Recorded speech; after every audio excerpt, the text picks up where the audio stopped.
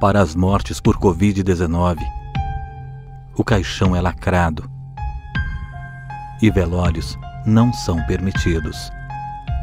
Sem chance do último adeus. Não obedecer o decreto estadual e furar a quarentena pode ser sua última escolha. Nesta quarentena, sua escolha faz a diferença. Escolha a vida. Escolha o distanciamento social.